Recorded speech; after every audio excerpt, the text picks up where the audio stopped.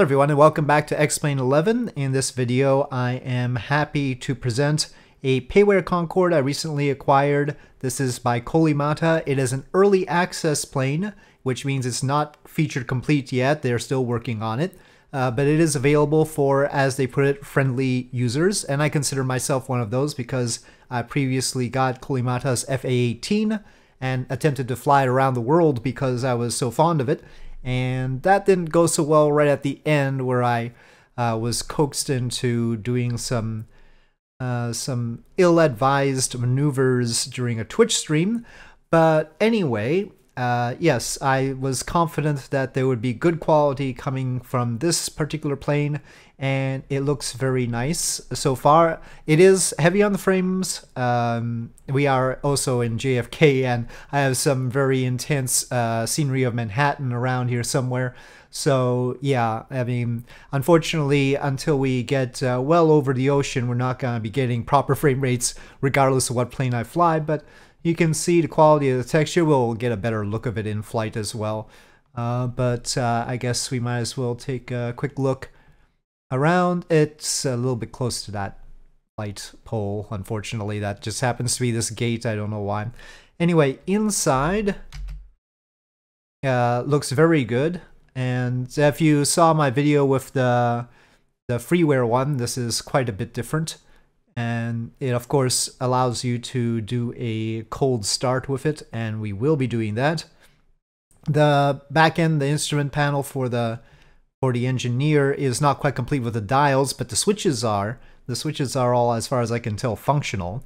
And of course, the Concorde is fabulously complicate, complicated, so uh, we are going to have to do some work with it. It comes with this uh, graphic user interface, and again, not everything is done yet. See this in development stuff, but what's done is pretty darn good. We've got uh, the seat seating arrangement and uh, we can reduce passengers, increase passengers mass. Uh, it shows you a range estimate. We're gonna try and fly this from uh, New York to London. Actually, we're going that ways, and I'll see if I can manage to fuel properly for that. And of course, this isn't the first time I've flown a Concorde, and I have flown this Concorde already once to try it out and uh, hopefully I can do a good job of it. But it's got a lot of information. Uh, the trim uh, use of the trim tanks, for instance, we can see here. I should probably top off the fuel if we're going to go across the Atlantic. And uh, the engine status, center of gravity, uh, doors and such. So yeah, I'm fairly pleased by its current situation, but the main thing that we need right now is checklists and we've got the internal check, eh, sorry, external checks. The safety check I'll temporarily um, skip. So uh, first of all, ground power on, and I'm pretty sure that's on the engineer panel. We've got these buttons in the bottom left that allows us to easily jump from one place to another. But it is so complicated in here. I need uh, sort of uh, there is a cold and dark startup guide that I'm referring to to see where all the buttons are. And actually for the ground power we activate it in the menu that we had just seen the GUI. So we need to access in aircraft doors and ground and GPU ground power available. Okay so now we have the ground power which also comes with the ground air supply so now we can turn on the main batteries and those are this will take some practice here. Bat on on very good. Equipment bay cooling panel check and set. Equipment bay cooling over here. Um, when it says check and set it's uh, in the Colon dark startup guide. It says must the equipment must be cooled, containing many electrical power consuming systems. So I assume we turn those on for now. I think that's probably best. That's normal on on. I don't know about we can turn keep off the standby. I suppose. Oxygen panel that seems important, but oddly enough, the oxygen panel is down by the right here and very hard to access. Uh, that's no fault of the model, but oh, see that switch. Uh, the the cover is separate from the. So I'm gonna get down here and off to the side and try and. There we go. You'd think that that'd be easier. Now, I don't think I need to. I guess we could toggle these a little bit, but I think as long as we turn it on, we should be safe. Okay, drain mast heaters. So those are on the pilot's overhead. There it is, drain mast heaters. Um, I think up is off and down is on. We probably want those on. Okay. Uh, so INS 1 and 2 and 3 need to be aligned. That's back with the with the engineer. That says align. Maybe we should put it on standby first. Okay, so and then this one. There's three of them. Uh, I don't know. Last time I tried this, it didn't work very well. I mean, I know these alignments take like 10 minutes, but last time I left them on for 10 minutes and they didn't do squat. So it's possible that that wasn't implemented, but then again, I've messed this up on other planes before, like the 737, 757. I, I keep messing up the INS thing. Anyway, uh, air data computer. Air data computers are back. Okay, back there. On, on. So now we get to do the seatbelt lights. Normally they're up here somewhere. But there are a lot of things that aren't normal about the Concorde. For instance, the Concorde doesn't have an APU, doesn't have an auxiliary power unit, so we have to start the engines parked. Uh, otherwise, we don't have the ground supply. Oh, there's a no smoking and fasten seatbelt. Sorry, odd angle.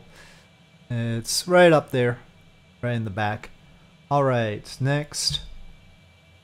Okay, master circuit breakers checked. We need to uh, shove in all of these.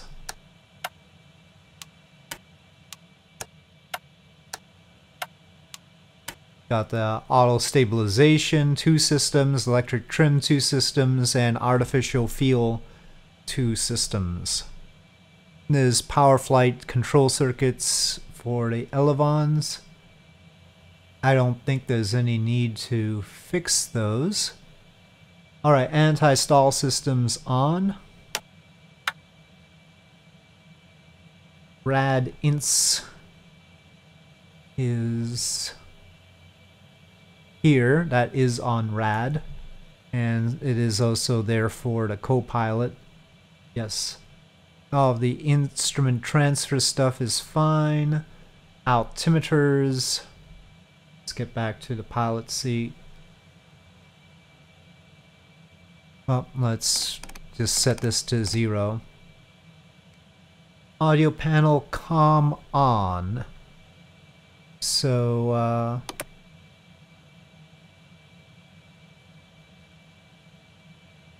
I think that should be fine. Okay. Nav radio set. I don't have any. I don't want to talk to anybody. We're fine. um, parking brakes are back there better view of them. Uh, it's... Oh, it was in park.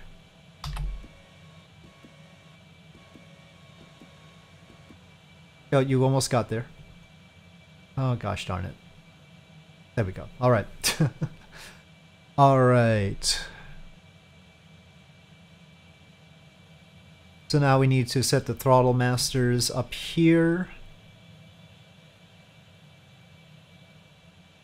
Here to uh, they, they need to be on main. So they seem to be already on main. Off they light up. That's typical uh, things usually light up when they're in the wrong position. And nav lights sorry I'm upside down but nav on. I'm got turn anti-collision on. Ground hydraulics check out. Uh, yell off well, it's yellow and it's all off as far as I can see. so that seems fine. Fuel heaters. If you were wondering whether we would actually be using the engineer panel, yes, a lot actually. The engineer does quite a lot. Engine recirculation, uh, recirculation valves, recirculation valves, there we go. Shut. Mm, secondary air doors. Uh, we are going to be taking off with reheat, so we're setting them to auto. Batteries on normal? I think we already did that, right? Let me just check. Everything seems to be flicked to normal. So seems good to me. Alright, next. INS check ready light on. See now this this is what I have a problem with. The the light well maybe I should have pressed test. But that says fuel vent. this this is uh, computer 3. See now it doesn't have the light up for it already. Maybe that's just not implemented. Um, last time I was able to fly without that saying okay. So I'm going to assume that that's just going to be okay. And um, speed limit bugs, I, that's already okay. Fuel flow bugs will be fine. Uh, I mean, we can go up to the front panel to take a look at those. Uh, we already have markings on the speedometer, as you can see, a red, yellow, and green. You can move that bug, but it's not required. And the fuel flow is right here. And so we could tweak a bug. Oops.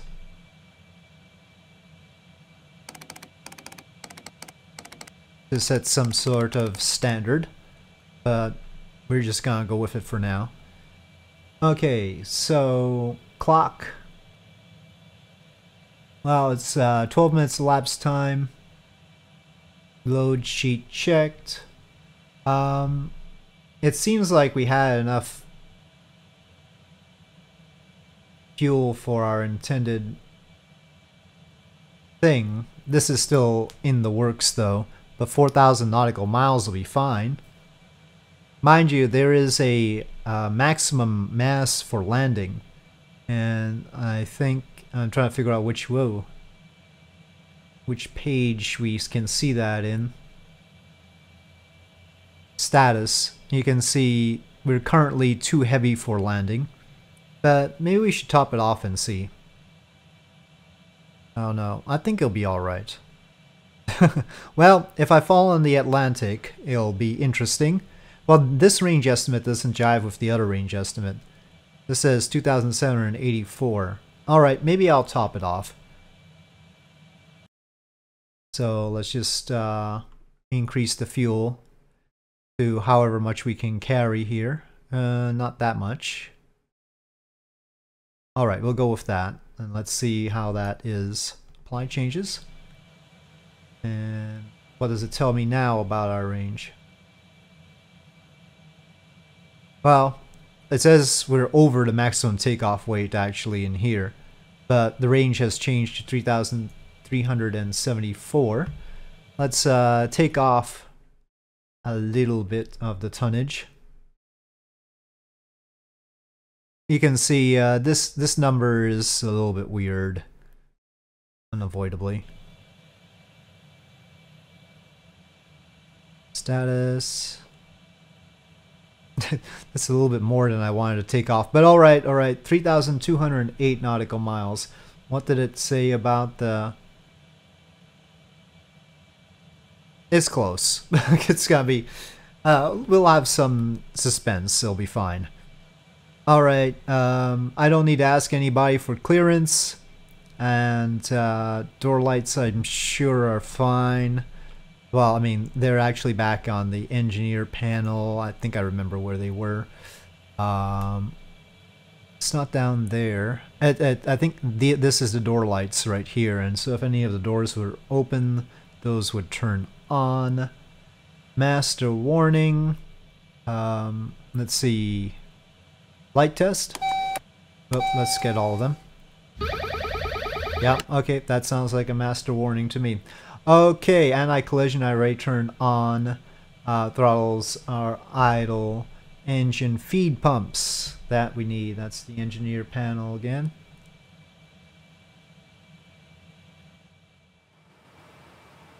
Okay, fuel management here.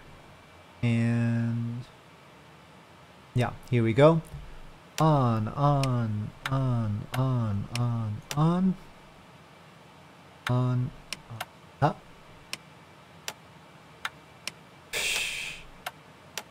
Okay. We've got a bleed air source from our ground supply. Uh, cross bleed. I believe that's these valves, but let me double check. Okay, yeah, cross bleed. Open, open, open, open, open, open, open, open. Valves. Okay, um, engine off for more than four hours. I'm going to assume that the engine has been off for more than four hours, so I'm going to keep that to normal. Uh, I don't know what debow means, but apparently it is something that you have to do if uh, you haven't had it off for a long time. And I'll just point out that switch is over here, engine debow. So we've got them all on normal, otherwise we'd have to flick them down. Okay. Start valve. Now we're talking. So we're gonna start the engines uh, inside first and outside. And let me just take a look and see what it suggests as the preferred order. Uh, it's either 2314 or 3214. I'm gonna go 2314. And I'm gonna start them all on the ramp. I, I tried before starting just two on the ramp and that worked as well. So that's not a problem. The start switches are here. And I'm just going to go ahead and click to start. It always goes to relight first and then start. So it should be starting and we can see that from here. I don't have to move my camera. Engine 2 is building up on the N1 and N2 RPM there. And uh, once the N2 RPM is above 12, uh, we uh, hit the HP valve, which is here. And so that's open now. Uh, what that does is that just uh, feeds propellant into the engine. And now you see the fire light is on for this. And if that stays on when N2 is beyond 30%, that will be a problem. that might mean that the thing is on fire, apparently. So that's the, the thing that's glowing is the emergency shutdown handle. And it is safely off before N2 got to 30%, so we are happy.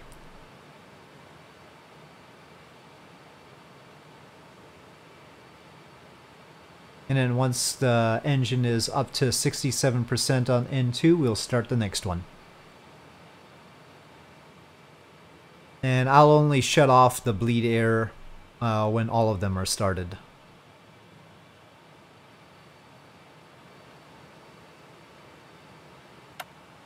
Okay, I heard the click of the starter being reset to its previous position, so engine 3 Okay, we can feed, feed fuel into engine 3. So far only engine 2 is visibly on.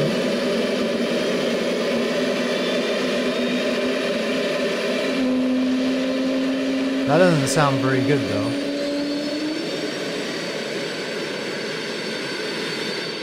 Wait, oh, it got puff. Okay. It's it's puffing smoke now. Alright. So that started. Okay, I could probably reach the switches from here. So let's do engine 1.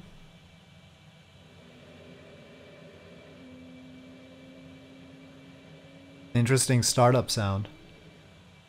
Okay, that is looking good. And now, last but not least, engine 4. In a way, the startup sequence is simpler because there's no APU. You don't have to start that and stop that. Note our uh, fuel contents ticking down like a kilogram per second already. Okay. Well, uh, we can inform ground that we don't need the power anymore. And the air. So. Okay, that's off. Okay, well, I guess we'll just continue with this. Uh, conditioning valve on. There. Hydraulic pumps. Hold on, I think we can shut off all the all the air bleed. Well, it says hydraulic pumps first and then electric generators. Okay, let me get this in order now. Okay, so the hydraulic management is up there. On on on. And then electric generators. Low it right here. And that's I guess they always flick to test first. Okay those are on and now we can shut the engine bleed valves it's gonna do all of them so up here emergency hydraulic gen uh, ground bypass it is already set to that, it looks like. The galley stuff I accidentally flicked on earlier. SSB switch is closed. Alright, that seems to be alright. Taxi lights on. The ground equipment is already clear, and now we get to do pushback. Um, I'm going to lower the visor now. I don't know if that's going to get in the way of um,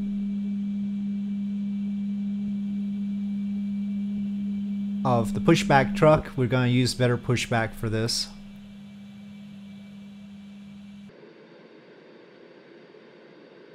Okay, there's a lot of swirly things, but I think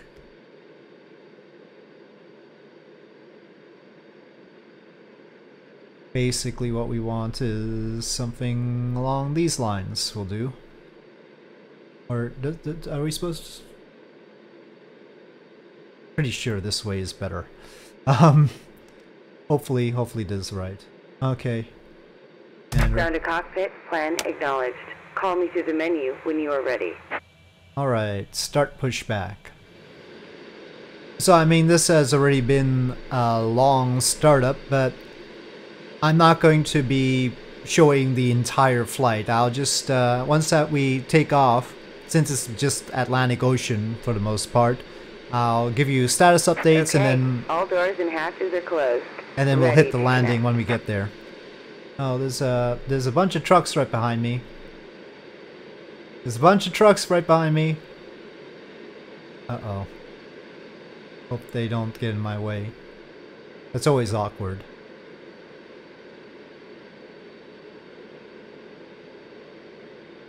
Oh, right, they cleared. Oops. Trying to get a good camera view here. I need to learn how to use X camera. I have it.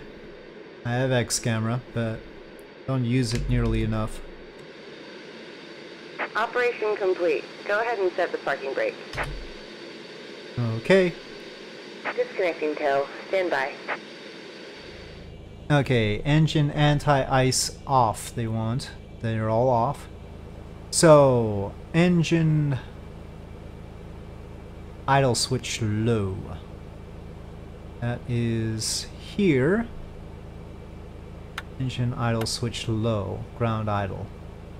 Okay.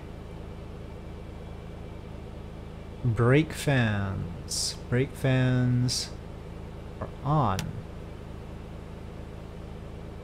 Engine control schedule, flyover. I think it's already on there, or... Well, that's as far left as it seems to go. Okay. We've got the engine feed pumps definitely. Hydraulic steam check. Yes, disconnect please.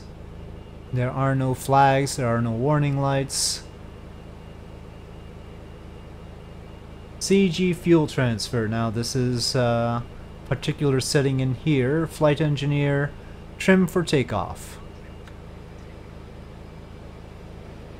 Tail is disconnected and bypass pin has been removed. Hand So- signal on the left. We'll see you next time and have fun up there. So this actually... Um, I, I'm seeing two of my engines seeming to get turned off here. Wait, things are not going well. I, I, I wanted trim for takeoff. I didn't say shut down, did I? Well, I think my engineer just shut down the engines. I could have the flight engineer start it, but...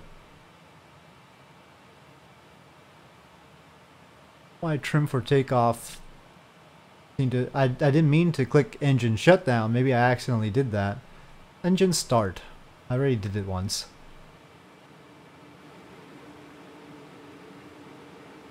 Okay, it sounds like the engineer is starting up the engines. Well, that was his, his fault, uh, shutting them down in the first place, so... We will uh, let the engineer do that. So if you want to see an auto startup, it'll do it. As you can see, it's automatically starting them and flicking those fuel switches and everything. I guess this is good for a demonstration. Anyway, I'll go through the rest of the checklist. Engine auto ignitions on. Engines auto throttle on. They're all on takeoff. They've started again. Those need to be on. Okay. There is a special takeoff limiter. This engine for takeoff N1 limiter has to be set to 88%. So we have done that. Sorry about the flickering. I think that's the clouds are causing weird lighting issues. We will quickly go above the clouds and that will no longer be a problem. Interesting effect on the tail there. Not too sure it is a valid takeoff direction on this runway or anything like that, but um, I'm a Concorde. I will take off where I want to take off. Yeah, rendering options set too high. Probably. I'm sorry, I come from old school flight sims where we we got, you know, maybe 5, 10 frames per second. So, alright, let's do this thing. Uh, check the cockpit briefly, but I'll mainly take it from outside, I think. Let me just get uh, windshield de-ice. I always forget to do that. Okay, here we go. Like I said, we'll have burners on.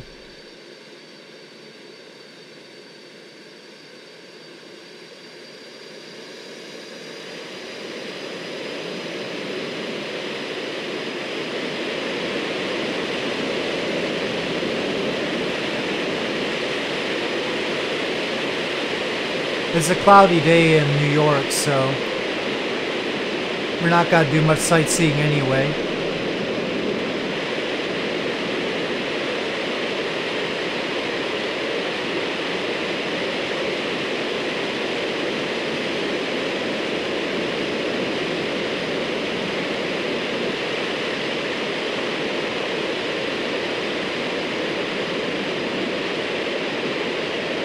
Oh, I think I was a bit premature. Ooh, quite. Wow.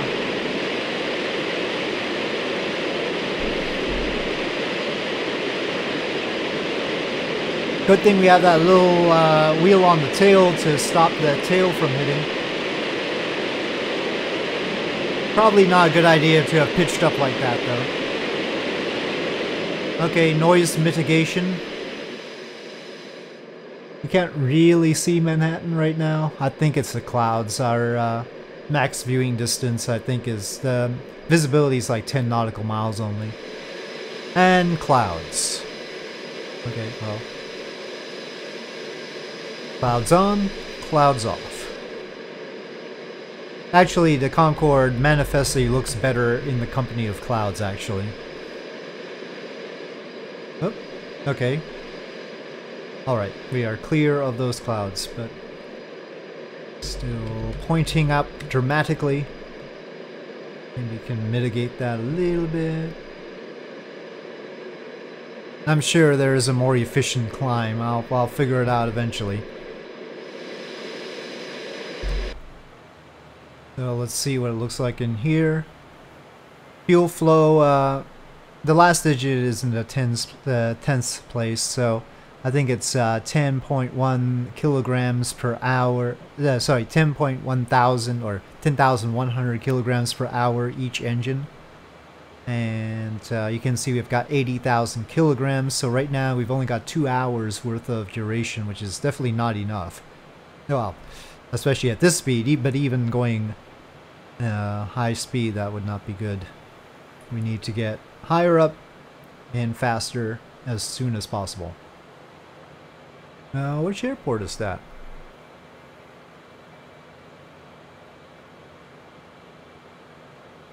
Republic Airport. The inner side looks particularly nice. I would really, really like to be able to go faster right now. Yeah, the shading on it right now is really good. Not so much at this angle, but that angle I like. Let's see. Oh, that's classic. Definitely classic looking. That's a nice one. That could be a photograph. A lot of it. That that's actually a very nice uh, sort of 70s photograph right there. Could be. The blue hue is sort of of that period. Nice clouds though. I don't mind staying at lower altitude for the clouds. So the thing to remember about the Concorde is uh, you can't really push it past the speed of sound until you get to a decent altitude. And that's basically close to 40,000 feet, maybe 35,000 feet or above. So I'm carefully trying to nudge it closer and closer to there. I mean, we were already flying at airline regular airliner speeds, but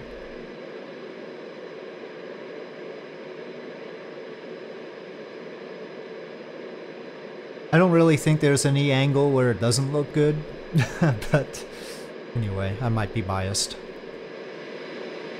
We can see the last bit of Long Island there. At least fuel consumption is nice and lower at this altitude, uh, 4.3 per engine. Yet another reason why you won't want to ignite the afterburners at lower levels. But let's see what the UI says is our range right now. It's not going to be good. Status. 2,778 nautical miles. Not good enough. Now, I think it's uh, allowing for some reserves, but still. Well, we're at Mach 0.94. Maybe I should just push it on and get over if we're at 33,000 feet. Alright, uh, I'm gonna light the afterburners. You can see the fuel consumption go up tremendously from 4.4 to Let's see where it ends up. It's like quadrupling. 14 it's at right now. Not quite quadrupling, but still. You do not want those on for any extended period of time.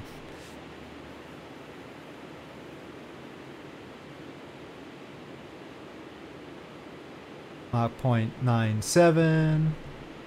It might be too early. I might have been too early. Point, uh, Mach 1. But we have to go through the whole transonic region. And we've just hit transonic drag, that's why we started going down there. Gotta be careful with it. Sort of nudge it along. Once we're past Mach 1.3, we will be through. But we do have to keep going up because we're hitting close to that the Mach over speed. We're climbing. We need to climb at a rate that does not bring that Mach number down significantly. Speed, the indicated airspeed can go down, but the Mach number shouldn't. I'm gonna get the autopilot ready. I'm gonna have it hold. I'm not gonna cross the entire Atlantic trying to trim this manually.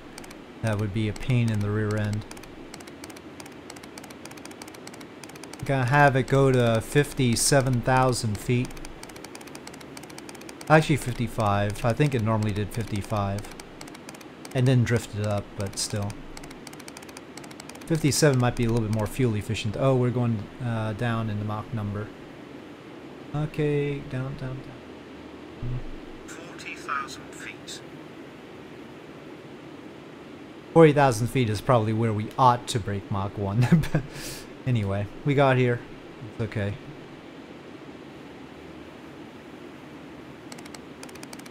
I'm only gonna use the altitude hold on the autopilot. You can see at 40,000 feet, the Mach limit is much higher. Oh, I I don't know if I want to tell the flight engineer to retrim the tanks for cruise, but probably ought to. Last time I told the flight engineer to trim the tanks, though, the engines shut off.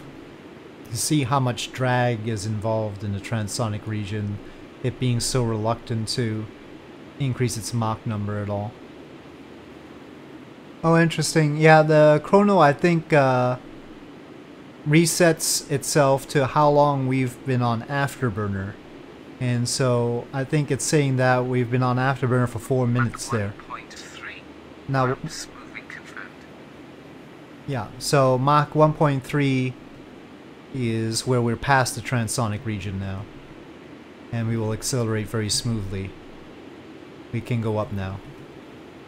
I'm gonna trim for flight. Trim to flight. Alright.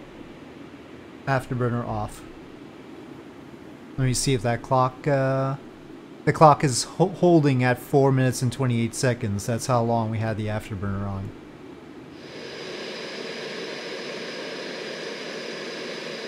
Okay, we better check inside. It seems like we're going pretty fast now. 1.76 Mach.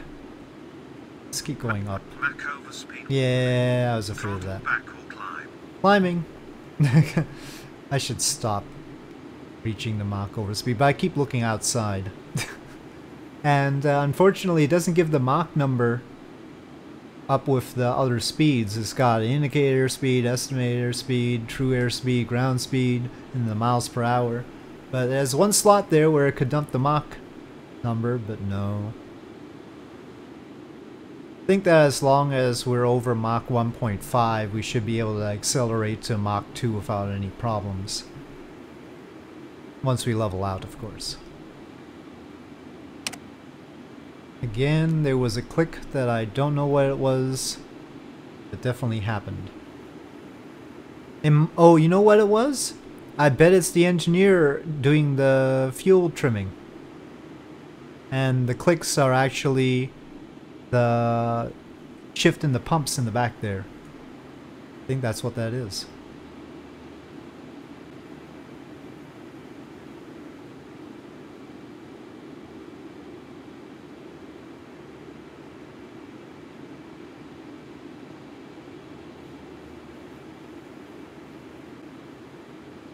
Well, we're looking pretty good. Um, it's 5.5 per tank. That's um, 22 altogether.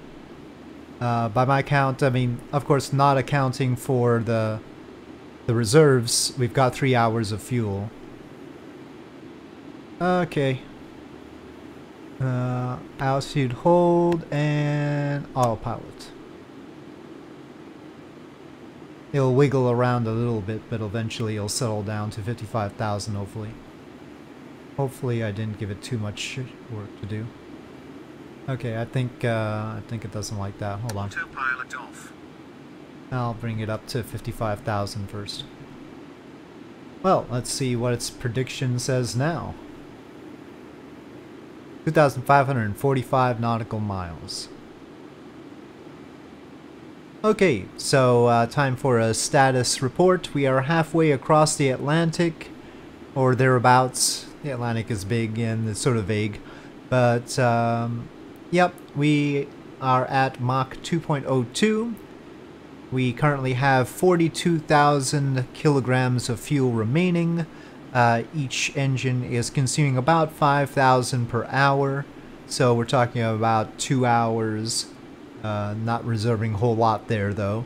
Uh, but I believe we should be getting in with plenty of fuel to spare. And yeah, no apparent problems. The altitude hold has been working well.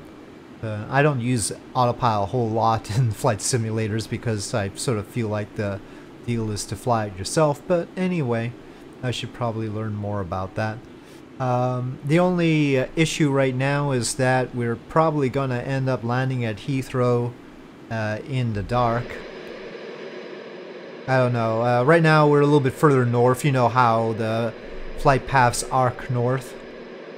So maybe the sunset up here is a little bit earlier than down at London, but it might be quite dark once we get there, unfortunately. On the bright side, that means... On the bright side. Uh, it does mean that we'll get to see what the Concorde cockpit looks like in the dark. Interesting in the in the darker light, we can see more detail on the skin that makes it look quite uh, quite a bit less perfect than without the shadows. Very interesting.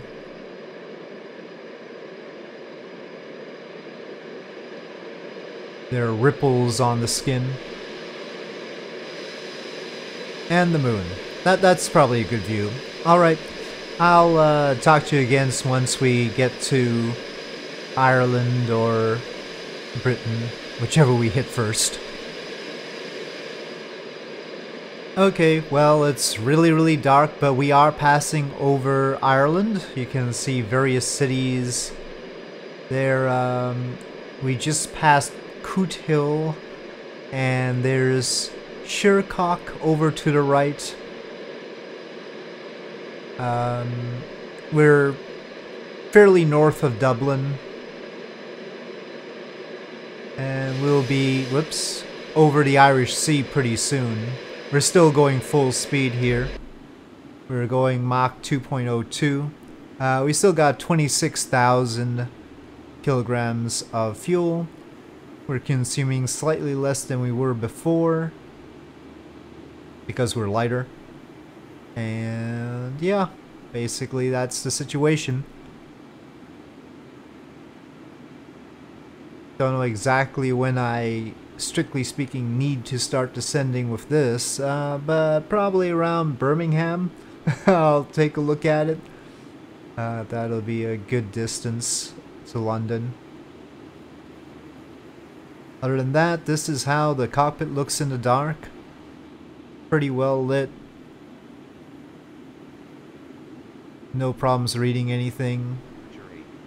Okay, we have acquired East Midlands information, unfortunately. Uh, I'll just leave that be, but we're passing by Birmingham. And I'm gonna start descending. Unfortunately, the night textures seem to load in chunks that are insufficient at this altitude, shall we say? Definitely insufficient.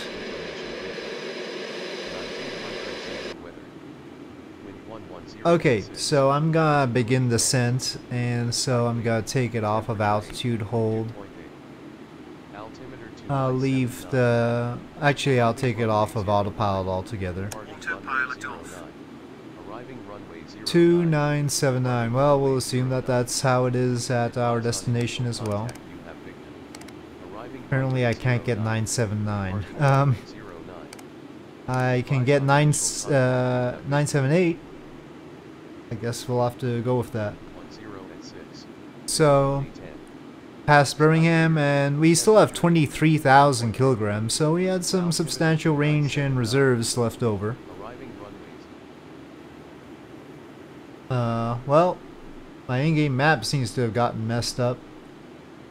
Let me see if uh, accessing it through this special method helps. Nope. This map is stuck on Newfoundland. Newfoundland. Oh, now the map has reset. That's good. Okay, well, I see Heathrow on the map, so I'm gonna break below Mach 1. Probably stayed above Mach 1, strictly speaking, a little bit longer than I ought to. But, you know, I'm in a rush.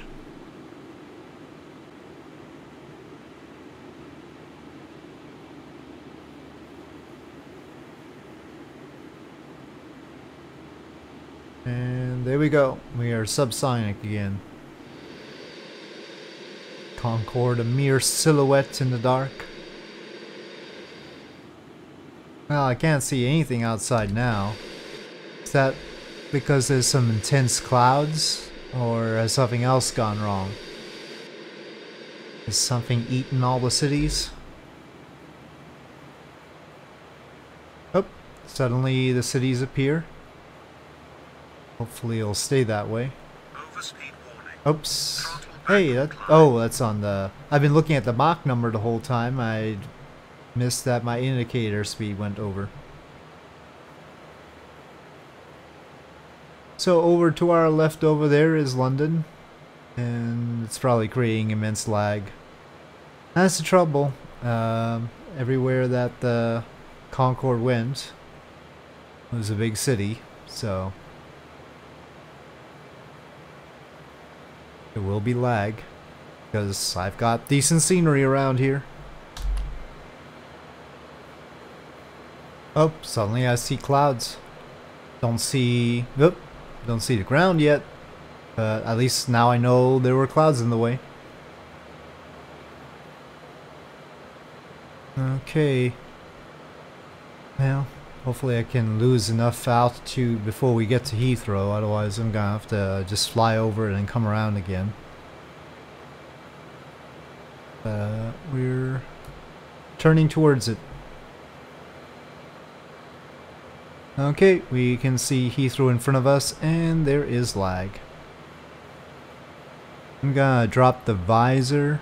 Not drop the nose yet, just drop the visor. At these speeds, it should be alright.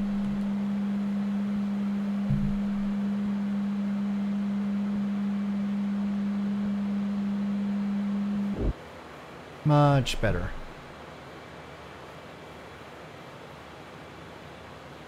Well, somewhere in those lights is a runway.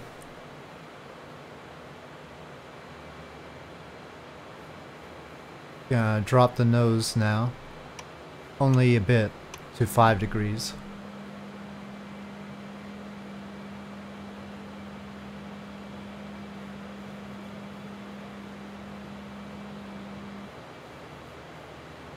Hmm, thought it would help the visibility a little bit more than that. Okay.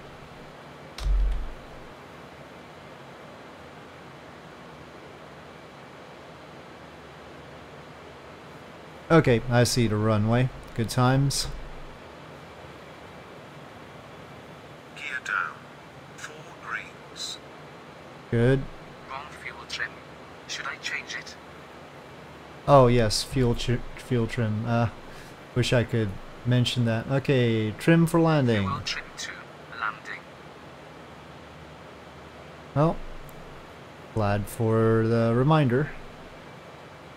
Seems like we're too low. It says at least the PAPI lights say that. Okay, now we're about right. Ah, the lag is serious.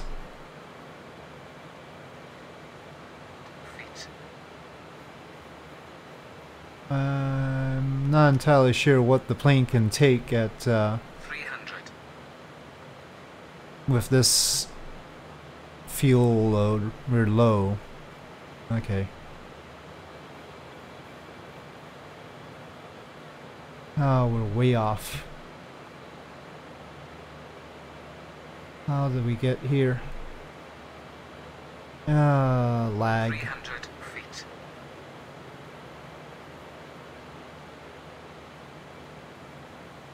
Two hundred feet. Oh, God, it's tough to land it like this. 100 feet. Retard reverser retracted. Yeah, I wasn't intending to do the reverser, I was intending to idle. 40. 20. Oh, 10. Deployed. Retard. 10. Retard. Contact. I thought we had contacted a few times before. Oh, that was a horrible thing.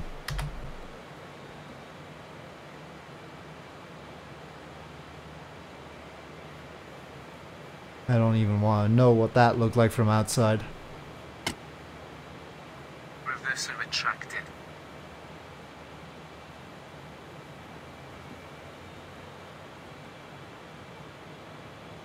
Okay, we have arrived at Heathrow, but I need a lot more landing practice, probably at places that don't have this much stutteriness. Maybe, you know, Edwards Air Force Base or something. There's not a whole lot around there, and it's pretty good for for high-speed testing. Uh, anyway, we have arrived. It's been a long flight. It's pretty late at night for me. And I can barely see the taxiways, so I'm gonna put on the brake here and say thank you for watching. I hope you enjoyed this video. If you did enjoy this video, please do press like. If you have any comments or suggestions, please leave them in the comment section below, and I'll see you next time.